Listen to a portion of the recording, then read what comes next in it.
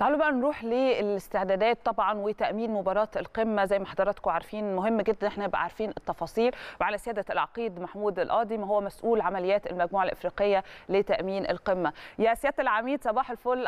عفوا سيادة العقيد صباح الفل على حضرتك. يا أستاذ نهاوند صباح الفل على حضرتك وعلى السادة المشاهدين. طبعا يعني هتبقى بكرة حدث يعني كبير جدا وأكيد محتاجين إن إحنا نعرف تفاصيل من حضرتك عن مواعيد هنا فتح الأبواب طبعا الاستعداد فكرة برضو الأبواب المخصصة لجماهير الأهلي والزمالك والإعلاميين. طب لو في محاذير كمان تم وضعها للجماهير نعرفها من حضرتك. الأجهزة الحديثة للتفتيش برضو على البوابات لو حضرتك تطلعنا عنها عليها. اتفضل يا فندم. تمام. طبعا إحنا حضرتك عندنا ميعاد بكرة مع نهائي كاس مصر. دي أقدم وأعرق بطولة في الشرق الأوسط في كرة القدم. ودي يعني المباراة رقم خمسة للمجموعة الإفريقية اللي بتأمن فيها مباراه القمة للأهلي والزمالك. إحنا سبق إن إحنا امنا المجموعة الإفريقية أمنت أربع مباريات سابقة للأهلي والزمالك. دي المباراة رقم خمسة. م. إن شاء الله المباراة بكرة في استاد القاهرة. في تمام الساعة التاسعة بداية المباراة. بأكد على السادة المشاهدين أبواب الدخول المخصصة للجماهير. إحنا عندنا الباب الرئيسي للاستاد باب آل رشدان.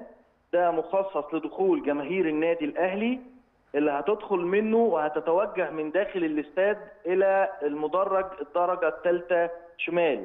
تمام. من خلال بوابات ال turnstile اللي موجودة على باب صلاح سالم. يعني هندخل من باب ال رشدان هيبقى في tube معمول داخل الاستاد الجماهير بتمشي من خلاله لحد ما توصل إلى البوابات اللي هتدخلها إلى مدرج الدرجة الثالثه شمال. بالنسبة لجماهير الزمالك هيدخلوا من بوابه طريق النصر اللي هي مؤدية مباشرة إلى مدرج الدرجة الثالثه يمين.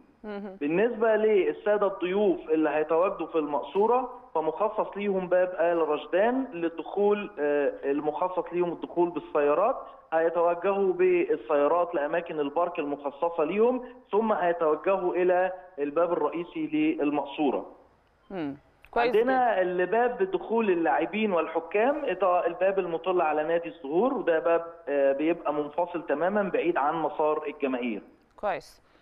بالنسبة حضرتك لفتح البوابات م. عندنا البوابات الرئيسية للاستاد هتفتح اعتبارا من الساعة 5 وإن شاء الله تمام الغلق قبيل بدايه المباراة. تمام تمام. من الساعة 5 توقيت مناسب برضو إلى حد كبير. في توقيت كبير لجميع الزملاء والسادة المشاهدين والحضور إن هو يتواجد ويوزع توقيته ما بين 5 لحد الساعة 8 ونص إن شاء الله يكون في سلاسة ويسر في الدخول. طبعا إحنا عملنا الإجراءات اللازمة للاستعداد لاستقبال الجماهير في على البوابات البوابات الإلكترونية الخاصة بالتفتيش وال hand metal الخاص بالكشف على المعادن في عناصر نسائية متواجدة لمساعدة إخواتنا الستات والبنات اللي هيجوا يبقى متواجدين في المباراة.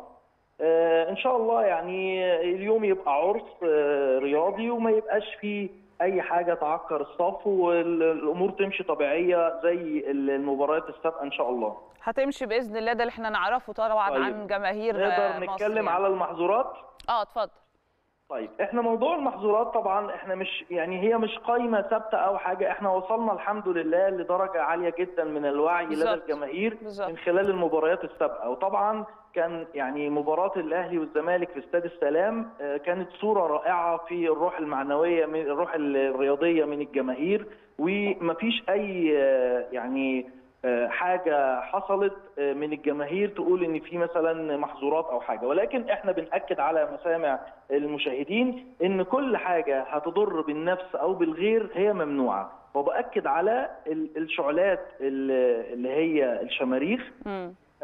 أي حاجة تسبب إشعال نيران زي الولاعات أو الكبريت أي حاجة أداة حاده أو عصا أو حاجة تسبب جرح أو إصابة الآخرين كل دي ممنوعة.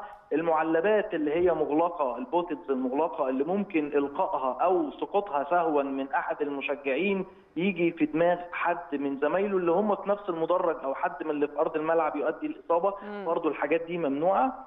بالإضافة إلى الحاجات الدعائية اللي ممكن تكون مسيئة سواء كانت حاجة سياسية أو حاجة كويس. إعلانية أي لافته مسيئة لأي حد هتبقى طبعا ممنوعة طيب والليزر برضو سيادة العقيد طبعا. إقلام الليزر طبعا يعني دي من ضمن الحاجات اللي هي ممكن ما تسببش أذية للجماهير ولكن دي بتسبب أذية للاعبين. وبتؤثر وبتشوش على سير المباراة داخل الملعب فطبعا دي ممنوعة والحمد لله إحنا برضو بقول لحضرتك إن الماتش اللي فات في السلام ما. كانش فيه قلم ليزر واحد في في المدرجات كويس جدا. هو الوعي فعلا موجود أصبح بشكل كبير جدا بين الجماهير أنا أنا أنا من خلال قناة حضرتك ومن خلال جمهور حضرتك أنا بأكد على إن نجاح التأمين ونجاح التنظيم بيبقى منصب على التعاون وتفهم السادة الحضور.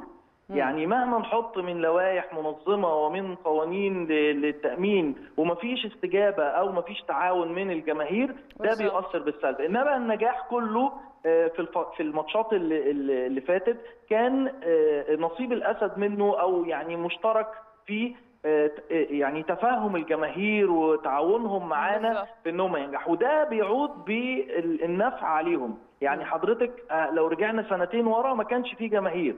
ابتدينا نبدأ ب 1000 و1000 وبعد كده هنزيد 2000 ونص و2000 ونص لحد ما إن شاء الله نوصل تدريجيا إن الاستاد يبقى مليان الجمهور اللي هو جمهور الكورة اللي. الناس بتنادي بيه. بالظبط. نأمل ذلك كمان في القريب يعني إن شاء الله. سيادة العقيد أشكرك. جدا. كل التوفيق ليكم بإذن الله. نشوف صورة حضارية جميلة ونشوف ماتش حلو بإذن الله.